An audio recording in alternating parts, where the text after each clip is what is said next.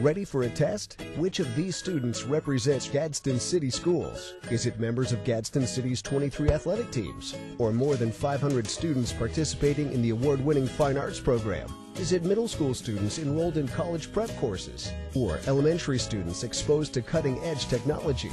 The answer is all of the above. From the arts to career training, from the tennis courts to the computer labs, Gadsden City Schools offers an education that's a cut above.